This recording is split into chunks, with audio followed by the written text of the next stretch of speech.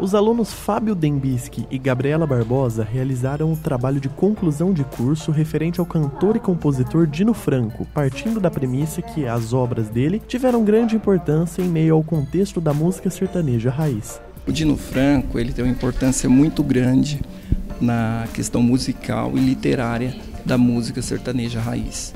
Infelizmente, as pessoas não dão tanto valor quanto deveria dar, porque o Dino Franco ele foi um poeta, né? Se você pegar uma letra dele, você vai ver uma poesia, um poema, um verso, né? Realmente é uma pessoa que deveria ter sido mais valorizada em vida e também em morte. Para a irmã de Dino Franco, a homenagem dos alunos feita ao compositor é importante e, acima de tudo, um privilégio. Deixa eu muito feliz, né? Porque o Dino, eu morei 20 anos junto com o Dino, né? Em Rancharia.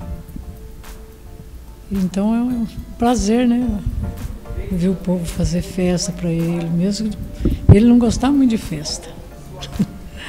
o Dino não gostava muito de festa, não mas faz festa para ele porque gosta né, dele, né?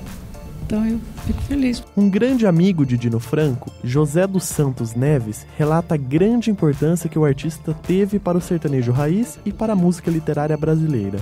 O Dino, é, na, na, parte de, de música sertanejo raiz, ele fechou a porteira. Só tinha ele.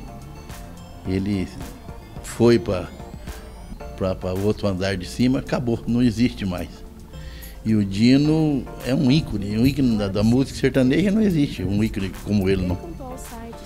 Ele realmente, suas obras são de, de, de qualidade e já haja visto a simplicidade do, do, Dino. Por fim, para os professores e orientador da banca, o trabalho evoluiu em diversos aspectos e eles ficaram bastante satisfeitos com o desempenho dos alunos de uma forma geral.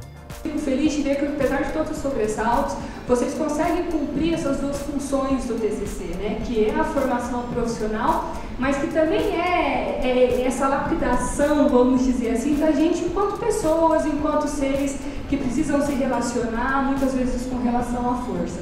Então, muito obrigado a vocês dois por me darem a oportunidade de enfrentar uma dificuldade com vocês, mas de ter a consciência, ainda que egoisticamente, que a gente só cresce